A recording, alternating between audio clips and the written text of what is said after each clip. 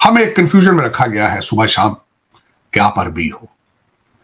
आपके औरंगज़ेब साहब टोपियाँ सी सी के हुकूमत चलाते थे लेकिन तीन तीन सौ हर मुगल जो था शराब का शराब का नशई था।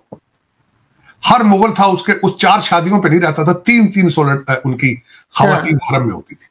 तीन तीन सौ खातन हमें बताया जाता था कि वो बहुत नेक थे वो आपके लिए सारा दिन कुरान अपने हाथ से कुरान लिख लिख कर बेच के तो उससे खाना खाते थे। यही एक आपके साथ अलमिया भेज बदल बदल के मार्केट में घुमा कर बहुत इतने नेक थे कि वो कहते हैं कि जी सारा दिन शराब पीते थे इतने नेक थे वो।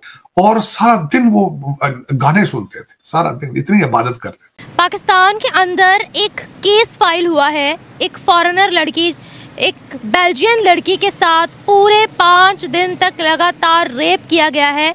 बार बार उसकी इज़्ज़त लूटी गई है और छठे दिन उसके हाथ पाँव बाँध कर उसको फेंका गया है।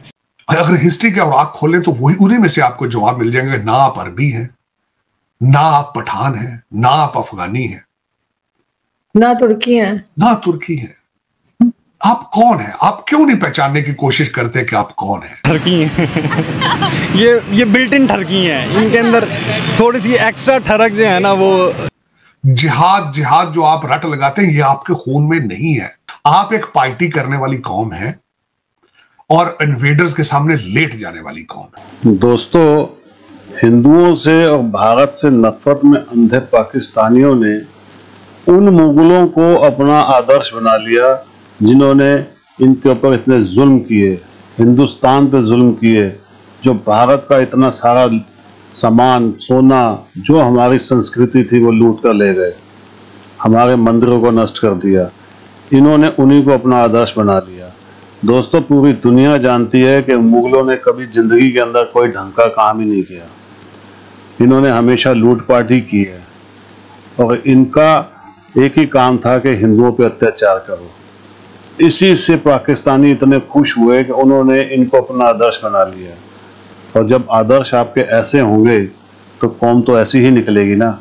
आज जो पाकिस्तान का हाल है, वो इसी वजह से है कि इनकी, इन्होंने इन्हीं से सीखा है कि लोगों पे जुल्म करो और अत्याचार करो और लूटपाट करो। काम धंधा ये इसीलिए कभी कर ही नहीं पाए दोस्तों। इसीलिए आज तक इनके अंदर से कोई ढंग का आदमी निकला ही नहीं है। दोस्तों, आप भी कमेंट्स कीजिएगा, वीडियो को पूरी देखिएगा, वीडियो को लाइक कीजिएगा और कमेंट्स कीजिएगा। थैंक यू वेरी मच कि आज आप, अगर पूछा जाए, आपसे पूछा जाए कि आप कौन है? क्या आपने पाकिस्तान बनाया या नहीं बनाया? आप अरब हैं? आप अफगानी हैं? आप कौन हैं? आपकी डेस्टिनेशन क्या है? आप कहाँ पहुँचना चाहते हैं? हिस्ट्री क्यों नहीं पढ़ते आप? अगर हिस्ट्री के और आग खोलें तो वही उन्हीं में से आपको जवाब मिल जाएँगे ना आप अरबी हैं ना आप पठान हैं ना आप अफगानी हैं। ना तुर्की हैं। ना तुर्की हैं। आप कौन है? आप क्यों नहीं पहचानने की कोशिश करते कि आप कौन है? जिहाद जिहाद जो आप रट लगाते हैं ये आपके खून में नहीं है। आपके अबाव अजदाद ने जिहाद का पता ही नहीं उनको पहले ही नहीं आते थे भाई जिहाद क्या चीज़ है। आज भी मुर्शद पाक को जलसा करना पड़ता है इस्लाम के नाम पर तो वहाँ पे गाने लगाने पड़ते हैं लड़कियाँ बुलानी पड़ती हैं। गाना क्या होता है? आज इमरान खान जलसे जो नचन जी करता है। आज जिहाद आप आप आप, आप क्यों खराबी करते आप एक पार्टी करने वाली कौम है और इन्वेडर्स के सामने लेट जाने वाली कौम है। दुख के साथ कहूँगा पाकिस्तान की बुनियाद रख रख दी गई थी जहाँ जब यहाँ पे पठान भाइयों ने आके मार मार के मुसलमान करना शुरू किया। पाकिस्तान तो बनना था एक हकीकत थी। नफरत भी होनी थी क्योंकि उन इन्वेडर्स ने मेजॉरिटी के ऊपर जो किया, नफरत होनी थी।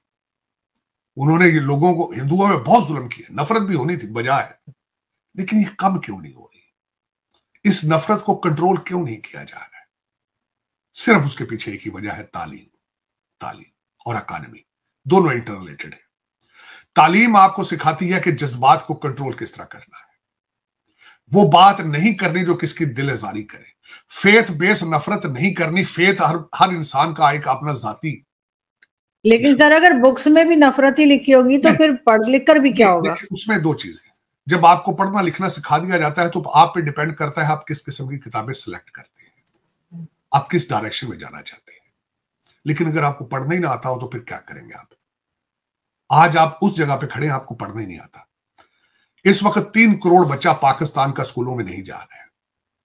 उस बच्चे को आप किस तरह कहेंगे कि यू पिक पिक समथिंग वो फिर जाके इमरान खान के जलसे में नचन जी करता है, वहाँ बिरयानी खाता है, पार्टी करता है, और उसको कहा जाता है, ये जो तू डांस कर रहा है, ये इबादत है।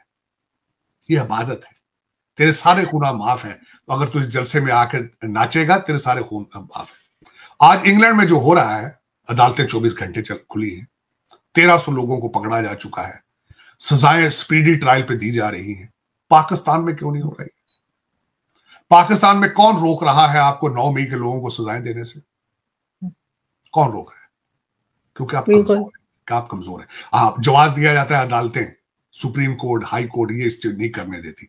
जब मिलिट्री के जब मिलिट्री के कैंट के अंदर जो भी जुर्म हो उसमें पूछने की ज़रूरत है किसी जज से भी तुम पीटीआई के जज हो तुम हमारा साथ दो या ना दो। जब आपके घर में घुस के मारा गया तो आप उन लोगों को सजा क्यों नहीं देते?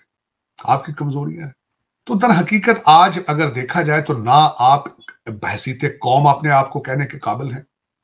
ना आप अपने आप को एक कंट्री कहने के काबिल हैं। बजट आपके वॉशिंगटन डीसी में बनते हैं फॉरेन पॉलिसी वहाँ बनती है जहाँ से आप पैसे लेते हैं। और फिर उसके बाद आपके लंदन बेस्ड लोग आके आपको ऑपरेट कर रहे हैं, जिनका 24 करोड़ लोगों के साथ कोई लेना देना नहीं। लेकिन सर, वही 77 इयर्स में भारत ने बहुत तरक्की की। अगर इकोनॉमी देख लें फॉरेन पॉलिसी देख लें, ठीक है, कुछ ना कुछ गड़बड़ हर कंट्री में होती है, हुई होगी ज़रूर। मगर ज़्यादातर तो हम उनको आगे ही बढ़ता हुआ देख रहे हैं तो हमने कुछ सीखा क्यों नहीं अपने पड़ोसियों से? ये बहुत बड़ा सवाल, बहुत बड़ा सवाल है, बल्कि मैं खुद इस बात पे मुझे हैरान हूँ कि हम एक जैसे लोग हैं, हम हम इंडस वैली के बच्चे हैं सारे, हम हम देखा जाए तो वी आर वन इसमें कोई शक नहीं है। इसमें कोई मुबालगा आ रहा ही नहीं है। मुसलमान तो आप कब आप हुए हैं? कुछ अरसा हुआ सदियों से आप रह रहे लेकिन हाँ वहाँ से कुछ लोग निकले हैं, जिन्होंने दुनिया को हैरान करके रख दिया। इसमें कोई शक नहीं है। अफसोस के साथ ही मैं कहूँगा, उसका कंफ्यूजन है। हमें एक कंफ्यूजन में रखा गया है सुबह शाम कि आप अरबी हो। आपके औरंगज़ेब साहब टोपियाँ सी सी के हुकूमत चलाते थे, लेकिन तीन तीन सौ हर मुगल जो था, शराब का शराब का निशई था। हर मुगल था उसके उस चार शादियों पे नहीं रहता था। तीन तीन सौ उनकी खातन हाँ। हरम में होती थी। तीन तीन सौ खातन हमें बताया जाता था कि वो बहुत नेक थे। वो आपके लिए सारा दिन कुरान अपने हाथ से कुरान लिख लिख कर बेच के हाँ। तो उससे खाना खाते थे। यही एक आपके साथ अलमिया भेज बदल बदल के मार्केट में घुमा कर बहुत इतने नेक थे कि वो कहते हैं कि जी सारा दिन शराब पीते थे। इतने नेक थे वो। वाइन पीते थे और सारा दिन वो गाने सुनते थे, सारा दिन, इतनी इबादत करते थे। यही बताया जाता क्या मैं इस पे क्या बताऊँ? और वही हमारा, क्योंकि हम अपने आप को समझ नहीं पाए। मैं कल किसी बड़े पढ़े लिखे बंदे को मैंने बड़े दलाइल के साथ ये कहा है। बड़े दलाइल। मैंने कहा, मैं सारी दिन, सारी ज़िंदगी मैकिया वैली की दी प्रिंस पढ़ता रहा हूँ कि पावर पॉलिटिक्स का बादशाह है। लेकिन उससे बहुत अरसा पहले, सदियों पहले, उससे पहले अर्थशास्त्रा लिखी जा चुकी थी टेक्सला में, लेकिन हमने उसके ऊपर हिंदू की ठाप लगा के उसको पढ़ने से इनकार कर दिया। दुख के साथ। बहुत, हम लोग, दर हकीकत वजह यह है कि दुनिया में हर मज़हब को इस्तेमाल किया गया है, लेकिन पता नहीं क्या बात है, हम जो टू बिलियन है दुनिया के अंदर मुसलमान, यहाँ हमारी दुकान को बहुत ज़्यादा चल रही है। जहाँ भी है दो बिलियन, छोड़ दे पाकिस्तान को। मैं एक सेकंड के लिए भूल जाए आप। पाकिस्तान, मुसलमान जहाँ भी है, जलीलो ख्वार हो रहा है, क्यों हो रहा है? ये क्वेश्चन मार है। अगर अपने मुल्क में है तो उसके ऊपर अपने ही लोग अजाब अजाब बन चुके हैं। अगर बाहर है तो बाहर भी जूते खा रहा है। अगर अपने मुल्क में तो वहाँ भी जूते खा, वजह क्या है? क्या वजह है? ये मैं, मेरा क्वेश्चन है। दो बिलियन मुसलमानों से क्वेश्चन है। गाजा के अंदर क्या नहीं हो रहा? क्या नहीं हो रहा है? इससे ज़्यादा आगे क्या होगा?